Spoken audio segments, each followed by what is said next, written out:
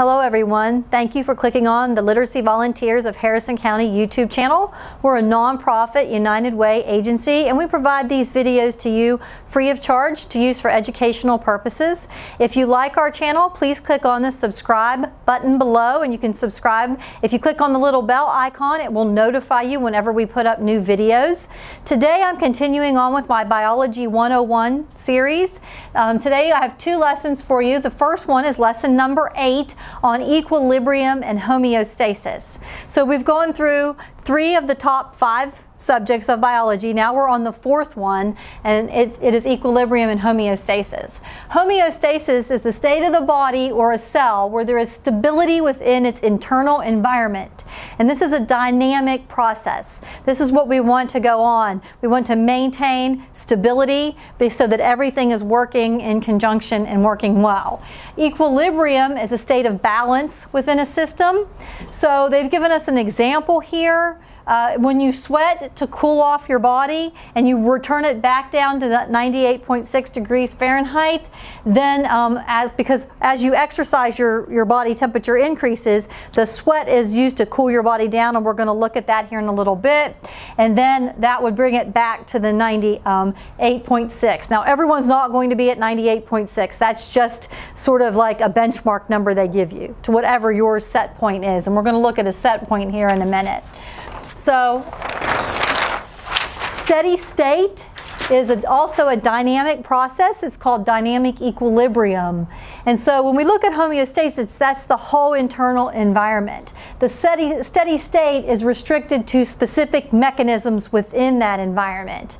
So we have this cell and it's in homeostasis. And the reason it stays in homeostasis because every single mechanism that works within that cell keeps it alive in that steady state. Whether we're talking about glycolysis or the Krebs cycle or electron transport chain. Any of those things that occur within that cell help to maintain the homeostasis or the steady state of the cell.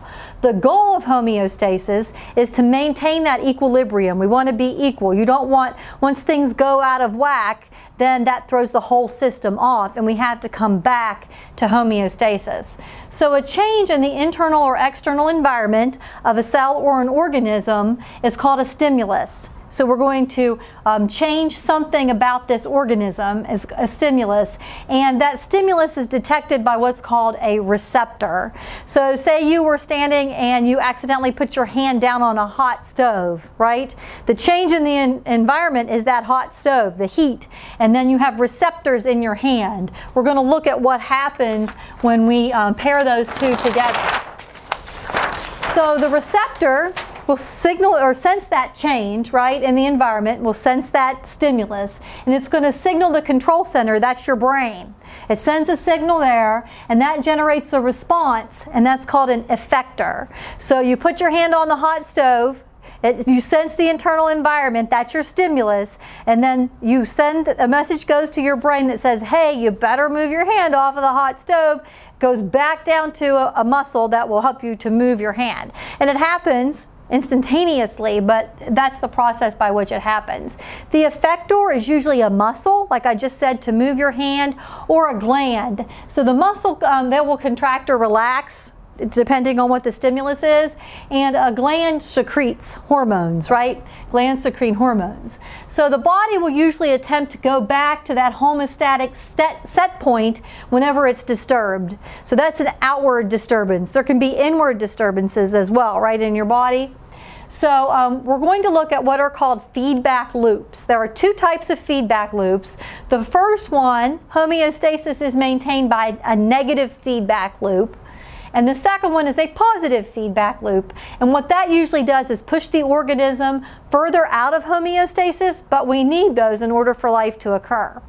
These are controlled by the nervous system, right? That's your nerves. We looked at those way back when we looked at anatomy.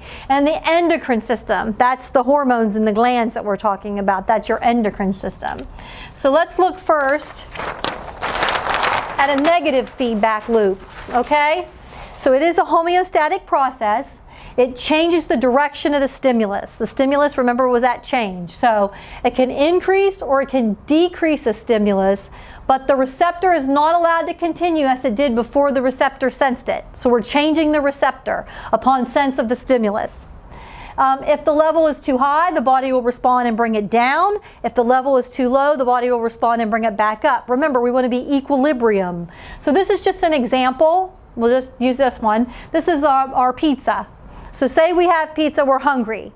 We're going to eat this pizza. Once we consume this food and start the process of digestion, your blood glucose levels will rise. The sugar in your blood starts to rise from the eating of this carbohydrate, correct?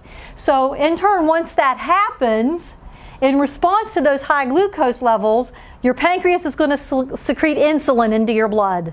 So the pancreas, right, is that receptor, right? Because the stimulus is us eating, the glucose in our blood stimulates the receptor. Remember, we talked about receptors are either muscles or glands. Pancreas is going to release a hormone, insulin, into your blood. In response to that, once that insulin's in your blood, once we have those higher insulin levels, all of this glucose is going to be transported into your cells and into your liver cells, right? Once it gets to your liver, your liver is going to store it in a form called glycogen. And glycogen, once we have that there in the liver, and these cells are full of glucose, it's no longer in the blood. So your blood glucose levels go down, right? So once your blood glucose levels go down, your body says, hey, why are my blood glucose levels down? It says we have a lower concentration of glucose. So that's going to send a, a message to the, to the pancreas to stop producing insulin, right? So this is a, a feedback loop. Sort of like if you're sitting in your house and you get really cold and you go over and you turn the thermostat down. Once you put it on 70, when it gets to 70, it turns off, right? What happens when your house drops below 70 degrees? Turns back on. It's a negative feedback loop, right? So that's what this is. This is a, a negative feedback loop.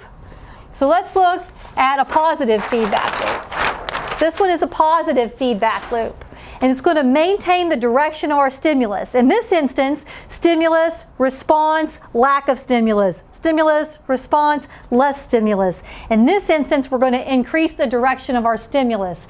And sometimes it'll accelerate it. This, my, my drawing isn't too good, but bear with me. This is the uterus, and here's the cervix, and this is our little um, baby in the uterus, and here's the umbilical cord, right, here attached to the placenta.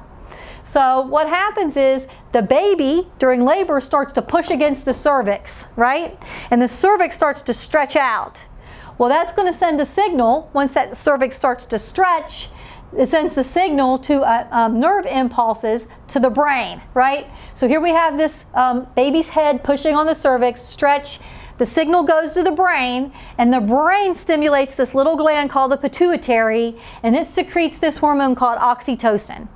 So once we get the secretion of this oxytocin, the oxytocin is going to cause this uterus to contract.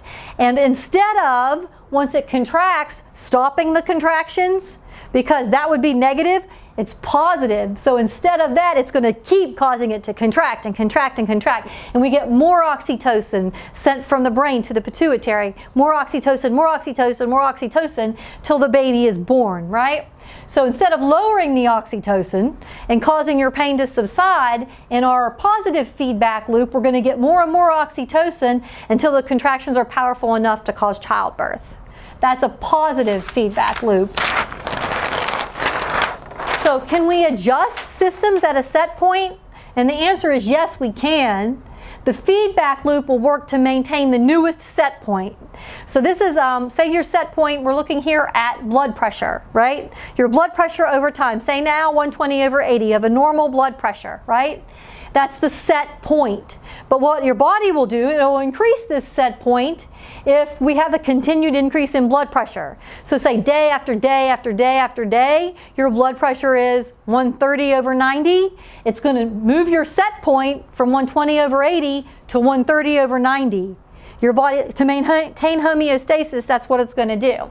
So the body no longer recognizes the elevation as abnormal. It says this is normal blood pressure now because we've reset our set point to reach equilibrium and it's not going to try to lower it. It's not going to try to bring it back down. And the only way you can do that is take medication. This can be harmful, right, if you have a, a, higher blood pressure or a lower blood pressure.